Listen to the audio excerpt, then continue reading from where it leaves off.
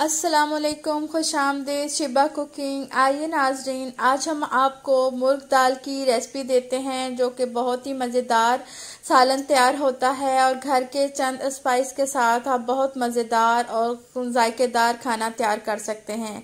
तो चलते हैं, जल्दी से अशिया नोट करते हैं। एक पाव दाल माश है, जो हमने पहले से दो चार घंटे भिगो दी है और 750 ग्राम हमें मुर्गी चाहिए, जो कि हमने अच्छी तरह साफ़ करके उसकी कटिंग कर ली है। कुछ हमें ड्राई स्पाइस चाहिए, उनमें one tea one tablespoon भर के सुरख मिर्च का powder one teaspoon chilli flakes यानी सुरख मिर्च कुटी हुई। वन टीस्पून हमें चाहिए धनिया कुटा हुआ वन टीस्पून भर के ज़ीरा कुटा हुआ चाहिए। नमक हमें हंसपे जायका चाहिए। थोड़ा सा गरम मसाला चाहिए हाफ़ टी स्पून हल्दी हाफ़ टी स्पून चाहिए। एक टी स्पून ज़ीरा और कड़ी लीप चाहिए तड़के के लिए। दो अदर सब्ज़ मिर्चें चाहिए। एक दरमियाने साइज़ का प्याज चाहिए, दो टमाटर चाहिए वन टीस्पून भर के अदरक लहसन का पेस्ट और थोड़ा सा धनिया चाहिए और दो से तीन टीस्पून के लगभग हमें कुकिंग ऑयल चाहिए। जो कि हम कुकिंग के दौरान इस्तेमाल करेंगे और एक टेबलस्पून के लगभग हम इस्तेमाल करेंगे तड़के के दौरान। तो दो से तीन टीस्पून के लगभग हम कुकिंग आयल शामिल करेंगे, क्योंकि पहले ज़्यादा हम ऑयल शामिल नहीं करेंगे, क्योंकि उसको बाद में हमने भगार लगाना है। कुकर में आयल शामिल करने के बाद साथ ही हम इसमें एक जो दरमियाने साइज़ का प्याज था, उसको स्लाइस करके शामिल करेंगे, ताकि प्याज़ों को थोड़ा सा भुना जाए और उनके ऊपर क्रीमी सा गोल्डन कलर आ जाए। प्याज को बारीक बारीक स्लाइस करेंगे, बहुत ज़्यादा मोटा मोटा स्लाइस नहीं करेंगे, क्योंकि हमने ज़्यादा देर इसको ना तो प्रेशर देना है और ना ही इतने चिकन मुश्किल है। हमने दो से तीन मिनट प्याज़ों को फ्राई किया और प्याज़ों के कॉर्नर पे बड़ा अच्छा सा क्रीमी सा गोल्डन कलर आने लगा। अब हम इसमें एक टीस्पून भर के जो अदरक लहसन का पेस्ट हमने फ्रेशली कूटा था, वो शामिल कर दिया है। अब अदरक लहसन के पेस्ट को प्याज़ों के साथ हम डेढ़ मिनट के लगभग फ्राई करेंगे ताकि इसका कच्चापन ख़त्म हो जाए। डेढ़ मिनट के बाद हम इसमें सात सौ पचास ग्राम चिकन जो कि हमने अच्छी तरह साफ़ करके धो के कटिंग कर ली थी चिकन को हमेशा काटने से पहले धोना चाहिए काटने के बाद नहीं धोना चाहिए। तो चिकन को इसके साथ प्याज़ों, अदरक, लहसुन के मसाले के साथ भूनेंगे। जब चिकन के ऊपर अच्छा सा, हल्का हल्का सा कलर आने लगे, तब हम इसमें दो अदर जो दरमियाने साइज़ के प्याज थे, उन्हें टमाटर थे सॉरी उनको मोटा मोटा स्लाइस करके शामिल करेंगे और एक से दो मिनट के लिए मज़ीद टमाटरों को पकाएँगे ताकि टमाटर थोड़े से सॉफ्ट हो जाएँ और अपना पानी रिलीज़ कर दें।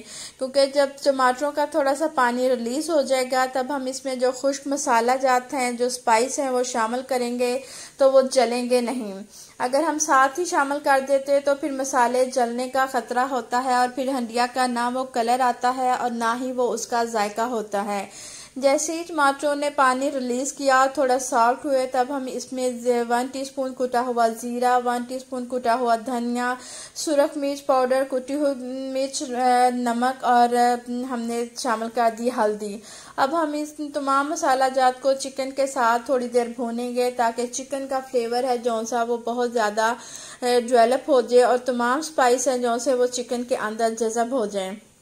थोड़ी देर मसाला भूनने के बाद फिर हम इसको पानी शामिल करेंगे ताकि जो लस प्याज है और जो टमाटर हैं वो इस पानी में गल जाएँ।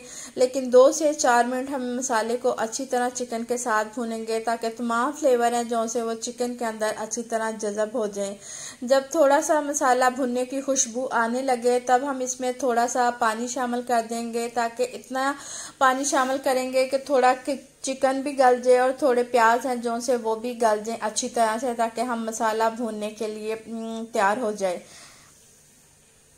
अब हम इसने, मसाले को हमने थोड़ी देर के लिए दम पे रख दिया था, ताकि प्याज हैं, जो से वो गल जाएँ, क्योंकि प्याज थोड़े सख्त हैं, इसलिए उनको गलने में थोड़ा टाइम मिलेगा। तो हमने थोड़ा ही पानी शामिल किया और प्याज तकरीबन गल चुके हैं। अब हम इस मसाले को थोड़ा सा भूनेंगे और भूनने के बाद इसमें हम जो भीगी हुई दाल थी माश की, वो शामिल कर देंगे।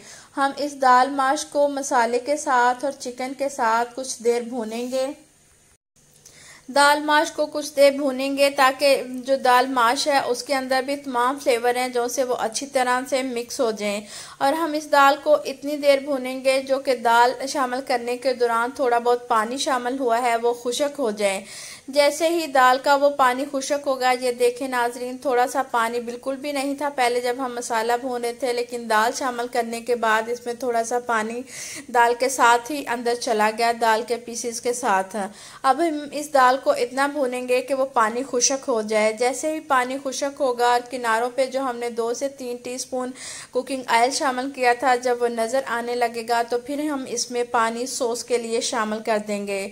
बहुत ज़्यादा ग्रेवी वाली ये दाल सॉस यानी शोरबा बहुत ज़्यादा नहीं इसमें अच्छा लगता और ना ही ये ज़्यादा शोरबे में दाल बनती है। हम इसमें इतना सा पानी शामिल करके रखेंगे ताकि दाल है जो सी वो गल जाए उसमें और अच्छी तरह से एक हमारी ग्रेवी सी तैयार हो जाए। हमने तकरीबन एक पाव दाल और 750 ग्राम चिकन के अंदर सवा गिलास से भी थोड़ा पानी शामिल किया है। दाल क्योंकि पहले ही पानी जज़ब कर चुकी है, अब हम इसको सिर्फ़ गलने के लिए रखेंगे। हमने सिंपल ढक्कन के साथ कुकर को रखा है, प्रेशर नहीं लगाया हमने इसको। तो उसी तरफ़ हम दाल का भगार तैयार कर लेंगे और भगार के लिए हमने one tablespoon cooking oil के अंदर एक टेबल स्पून मक्खन शामिल किया है। हमेशा मक्खन और ऑयल को इकट्ठा शामिल करें ताकि मक्खन जले ना।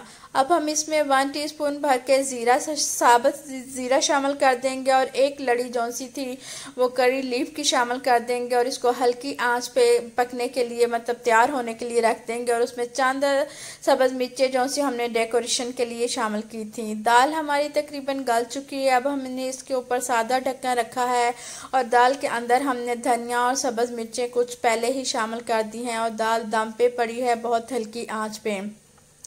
दाल हमारी तकरीबन ये देखे गल चुकी है और तैयार है। अब हम इसको एक बॉल में डिश आउट किया है और डिश आउट करने के बाद इसके ऊपर गर्मा गर्म भगार लगाएँगे, जो कि इसके जायके और इसकी खुशबू में इजाफा कर देगा।